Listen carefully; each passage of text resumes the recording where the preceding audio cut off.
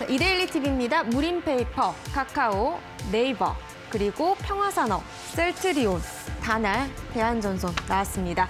자, 한국경제TV로 갑니다. 호텔신라, 인터파크, 대주전자재료, 효성TNC, 삼성 SDI, 코스모 신소재까지 올라왔고요. 매일경제TV는 대주전자재료, ST팜, 하이브, 파버나인, 그리고 NHN 한국사이버결제, 코스메카 코리아까지 선정을 했습니다.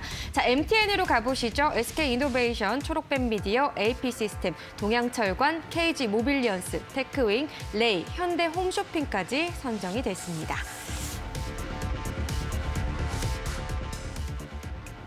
네, 이렇게 오늘의 뭐 특징주 까지 확인을 해봤습니다. 자, 오늘 짝에서의 특징주 옥석 가르기 또 해봐야 될 텐데 어떤 종목들 보면 좋을까요? 근데 그 전에 오랜만에 또 네이버 많이 올라가고요. 카카오 거의 다 뭐 4% 넘게 지금 떠오르고 있는데 네. 관심이 또 집중되고 있는 거죠.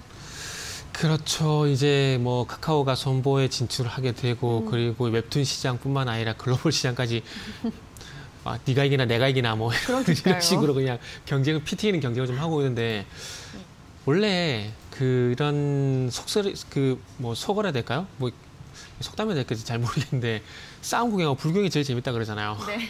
지금 증시에서는 카카오와 네이버였던 싸움이 상당히 좀 재밌고 흥미로운 음. 것 같습니다. 그러다 보니까 주가도 지금 둘 다 나란히 4% 상승이 나오고 있는데 예. 아마 두 기업은 어쨌든 컨텐츠라는 이 측면에서 봤을 때 앞으로 경쟁을 할 수밖에 없는 상황이고 그런 경쟁 구도 속에서 컨텐츠를 강, 강화를 해 나가게 되면서 이 눈에 보이지 않는 성장력이 계속해서 우상향이 될 것 같아요. 그래서 그런 측면에서 보게 되면 앞으로 진행하는 사업들에 대해서 cash cow 역할을 할 가능성도 있다라면은 뭐 지금 좋게 말씀드릴 수밖에 없을 것 같아요. 뭐 부, 일시적인 어떤 부침은 있겠지만은 앞으로 어쨌든 뭐 코로나가 아시잖아요. 코로나가 되면서 비대면으로 좀 가속화시킨 부분이 없잖아요. 있기 때문에 그런 부분을 통해서 앞으로 좀 더 속도가 빨라지게 되고 그러면서 그런 컨텐츠의 어떤 경쟁이 앞으로도 계속 치열해지게 되고요. 거기서 어떤 그 비대면 컨텐츠의 어떤 공영 오프라인에 삼성전자가 있다라면은 온라인에는 이제 네이버란지 카카오가, 카카오가 있을 있다. 수밖에 없다라고 네. 보 있을 수밖에 없다라는 뭐 너무나 당연한 말씀드려야 될 것 같아요. 이두 네. 종목 중에서 뭐 어떤 종목이 들어갈까 개인 투자자분들은 계속해서 이 고민을 해오셨거든요. 그러니까 지금도 여전히 두 종목 다 봐야 한다고 네. 보시나요? 뭐 카카오 같은 경우는 지금 또 카카오 커머스와 합병한다 이런 소식도 나오고 있고요. 네. 잠재력은 어떻게 더 낮다고 보시나요? 아, 글쎄요. 이건 진짜 엄마가 좋니 아빠가 좋니 이거랑 똑같고요. 비. BMW가 좋아, 벤츠가 좋아 이거랑 똑같아서 뭐라고 말씀드리기가 좀 상당히 좀 애매하네요. 둘 다 정말 우열을 가리기가 힘든 상황이라서 이거는 진짜 그 본인의 어떤 성향 따라가는 게 맞다라고 말씀을 드린 게 맞을 것 같아요. 그리고 이 두 종목 중에 한 종목 지금 갖고 있는 상황이라서 예, 말씀 못 드리겠어요. 알겠습니다. 어쨌든 어떤 종목이든 좋게 네. 흘러가고 있는 분위기고 둘 다 모멘텀들을 가지고 있기 때문에 본인에게 성향에 맞는 본인 성향에 종목을 맞는 거, 선택하시면 되겠네요. 네. 알겠습니다. 카카오와 네이버 얘기 잠시 나눠봤고요. 자, 그럼 집중적으로 세 종목 선정해서 또 이야기 나눠보겠습니다. 첫 번째 종목은요? 네, 첫 번째 종목은 셀트리온을 선택을 했는데 상당히 오랜만에 언급을 한 종목인 것 같아요. 네. 네. 일단 레키노나주가 이제 임상 3상에 성공했다는 얘기가 나왔는데 여기서 딱 주목해야 될 부분은 딱 한 줄인 것 같아요. 통계적 위성 확보. 이게 무슨 얘기냐면은 그러니까 뭐 어떤 그 우주 탐험을 갈 때도 마찬 우주 탐험에서 로켓 쏘아갈 때도 마찬가지고 임상을 할 때도 마찬가지인데요.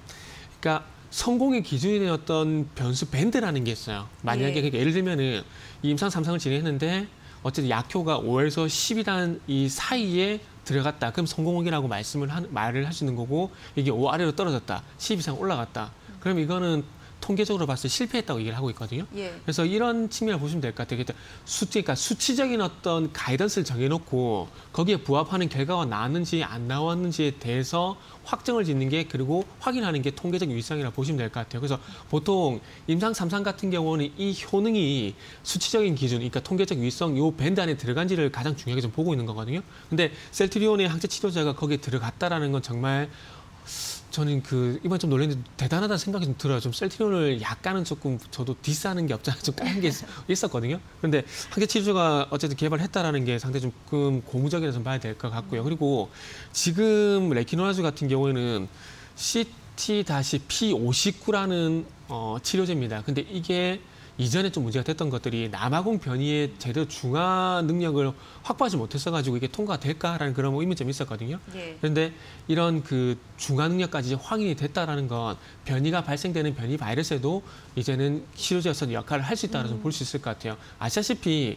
그 코로나 바이러스가 치사율이 떨어지고 이 전염력이 올라가게 되면서 변이 바이러스가 많이 발생이 됐었거든요. 그러면서 잘 아시겠지만은 이 그 소위 말하는 spike protein, spike spike 단백질 그 단백질이라 그래가지고 인체와 접촉하는 이 예. 어, 돌기라 될까요? 이 돌기에서 변이가 발생이 되는데 그 돌기에 N-terminal domain, domain이라는 부위가 있는데 거기서 어, 변이 바이러스가 발생이 된다. 그러니까 그 돌연변이가 발생이 돼요. 그래서 남아공 같은 경우에는 이 엔터미널 도메인에, 도메인에서 다섯 개의 변이 바이러스가 발생되게 되면서 여기에 대한 문제가 상당히 컸었는데 거기까지도 치료가 좀 가능한 것 같아요. 중화 능력이 확보가 되는 것 같아요. 그러면 상당히 어, 긍정적으로 볼 수가 있을 것 같고 말 그대로 치료제였었던 역할을 할 수가 있는 부분들이 있고 뭐 렘데시비르라든지 그리고 여타 뭐 치료제 같은 경우는 말 그대로 증상 치료제 예. 감기에 걸리게 되면 감기의 증상에 맞는 치료제를 처방을 하듯이 코로나에 걸렸을 때 염증 발생이라든지 이런 부분을 어, 중화시키는 그런 렘데시비르에서 좀 더 진부한 치료제를 볼수 있을 것 같아요. 그래서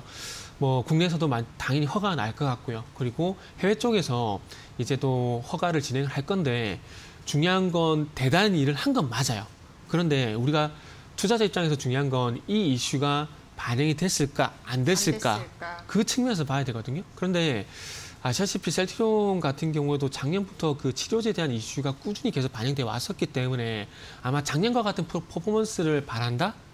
그거는 조금 무리가 있다라고 말씀을 좀 드려야 될 것 같아요. 작년 같은 경우는 네. 사실 여러 가지 시장 상황들도 반영이 되면서 더 급등 상황이 아니었을까요? 어, 지금 같은 상황은 조금 다르기도 하고 네. 또 한편으로는 지금 많이 또 제약 바이오주들이 억눌려 있었기 네네. 때문에 오늘 같은 경우 셀트리온 많이 올라오고 있어요. 4% 넘게 올라오고 있고 뭐 셀트리온 제약 음. 같은 경우는 거의 11% 가까이 올라오고 있는 상황이거든요.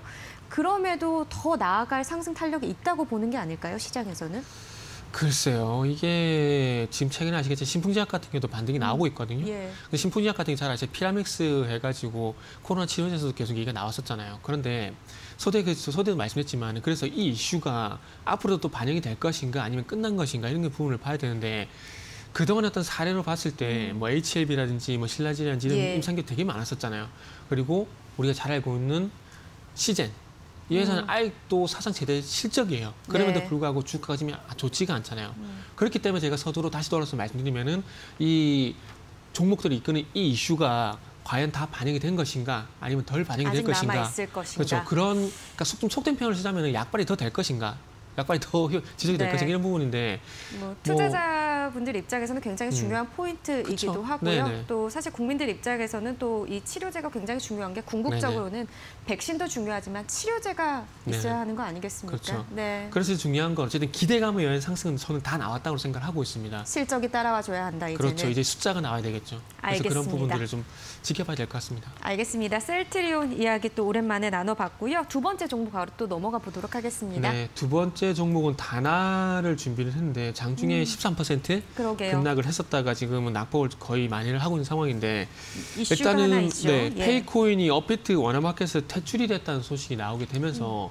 급락을 했고요. 그리고 아직 정확한 이유는 안 나오는 것 같아요. 그냥 내부 기준에 미달이 됐다는 이유만으로 다섯 개 어떤 그 가상화폐가 퇴출이 됐는데 어 근데 우리가 그 페이코인뿐만 아니라 가상화폐에 대해서 한번 이제 고민 좀 고민을 해봐야 되는 게 예.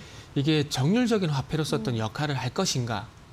그러니까 지금 마지막 자막에 나오고 있는 가상화폐였던 화폐 가치 보증 이 부분에 어떤 고민을 좀 해봐야 되는데 그렇다면은 이 비트코인이 됐던 그리고 페이코인이 됐던 이 가상화폐에 대해서 말 그대로 화폐 속에 돈으로 썼던 가치를 누가 보증을 해줄 것인가 이 문제가 분명히 발생이 되는 거거든요. 무슨 얘기냐면은 지금 우리가 쓰고 있는 원화 같은 경우에는 한국은행에서 이거는 돈이 맞습니다라고 보증을 해주는 거잖아요. 예. 그리고 달러 같은 경우에는 우리가 잘 알고 있는 연방준비제도 여기서 FRB 여기서 중앙 미국의 중앙은행이 이 돈에서 돈으로서 가치가 있다라고 어, 보증을 해주는 거거든요. 그런데 중요한 건 지금 뭐 가상화폐 가격이 올라가고 있는 부분들이 있지만 뭐 3,900만 원, 4천만 원에 대한 얘기를 하고 있긴 하지만 중요한 건 비트코인의 가치도 결국 기존 화폐가 가치를 선정을 해준다라는 거죠. 그러니까 무슨 얘기냐면은 1 비트코인이 얼마다. 그러니까 결국에는 기존의 화폐가 비트코인의 가치가 얼마다라고 산정을 해주는 부분이 있다라는 거죠. 그래서 앞으로 이 가상화폐 같은 경우는 이 페이코인뿐만 아니라 페이코인을 포함한 여러 가지 가상화폐 같은 경우는 앞으로 이런 문제가 계속해서 도출이 될 겁니다. 예. 그러다 보니까 그리고 또 가장 중요한 건 이 가상화폐가 이 기존 화폐를 대체를 한다? 과연 중앙은행에서 이 부분을 원할까요? 원하지 않는다라는 거죠. 그래서 그런 부분을 봤을 때 이런 난제들을 앞으로 얼마만큼 또 해결을 해 나갈까. 물론 오늘 뭐 업비트 원화 마켓 퇴출 이 내용도 중요했지만 어쨌든 장기적인 관점에서 이 가상화폐의 어떤 역할은 한 번쯤은 좀 고민을 해봐야 되지 않을까라는 네. 말씀 좀 드리고 싶네요. 물론 많은 뭐 유동성이 존재를 하기 때문에 당장에 어떻게 규제가 들어올 수 있을지에 대한 좀 부정적 시각도 있긴 합니다만 네. 미래성을 알고 들어가는 게 굉장히 중요하다라는 포인트신 것 같고요. 어, 지금 업비트에서 제거가 돼도 페이코인 사업에 차질이 없다 이렇게 또 밝 히면서 다시 낙폭을 줄여 나가는 모습이긴 합니다만 계속해서 이 이슈는 지켜보도록 네. 하겠습니다. 자 이렇게 또 페이코인 얘기와 다날에 대한 이야기를 나눠봤고요. 자 마지막 종목 넘어가도록 하겠습니다. 네, 마지막 종목은 오늘 제지업종이 상당히 강세인데 그래서 무림 맞습니다. 페이퍼 예. 네, 선택을 했습니다. 일단 5월달 국제 펄프 음. 가격이 톤당 925달러를 기록을 했고요. 그리고 이게 또 작년 5월 대비해서 60%나 급등을 했다라고 합니다. 그래서 지금 펄프 가격도 계속해서 올라가고 있는 상황인데 일단은 첫 번째 문제는 중국에서 투기 수요, 중국에서 블랙홀처럼 이 재질도 습습 빨아들이고 있는 그게 가장 큰 원인이고 그리고 또 어찌 보면 또 트렌드적인 문제인데 이제 재택근무가 좀 많이 늘어나다 보니까 그 재택근무와 연관된 어떤 종이 수요가 또 증가를 했고 그래서 이런 복, 이런 부분들이 복합적으로 작용이 되다 보니까 이 펄프 가격이 좀 상승을 하는 것 같습니다. 근데 이전과는 다른 부분들이 선물 가격이 아닌 현물 가격이 올라간다는 거 이게 좀 차이점이 있고요. 예. 그리고 이제 이 그래서 펄프 가격이 올라가고 있는 것에 대해서 어떻게 판단할 것인가 또게 놓여 있는데 무슨 얘기냐면은 자 운임 지수가 상승을 하게 되면서 해운주가 작년부터 상당히 가파르게 상승을 하고 있잖아요, 그렇죠? 음. 그리고 또 반대 두 번째 케이스 어, 곡물 가격이 올라가게 되면서 밀 가격이라든지 콩 가격이 이런 부분 올라가는 얘기가 나오게 돼서 관련주들이 또 강세된 얘기가 나왔었거든요. 그런데 1월 달에 반짝 반등으로 끝이 났습니다.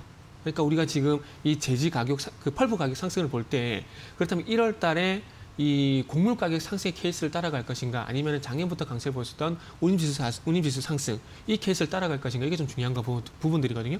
근데 제가 볼 때는 1월달 곡물 가격 상승 쪽으로 따라가는 게 맞지 않을까라고 생각을 하고 있습니다. 왜냐하면은 이게 어찌 보면은 주도주로서 좀 시장에서 이끌어주는 그런 부분들이 분명히 좀 있어야 되거든요.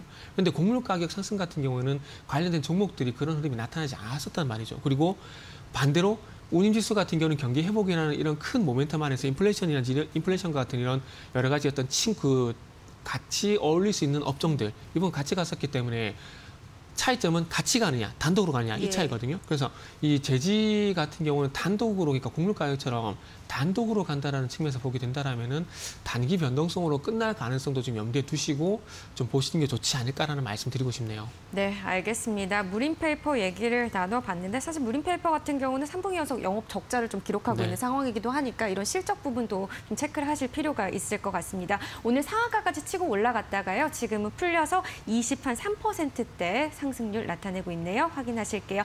세 가지 종목도 이렇게 분석 마치겠습니다. 오늘도 고맙습니다. 네, 감사합니다.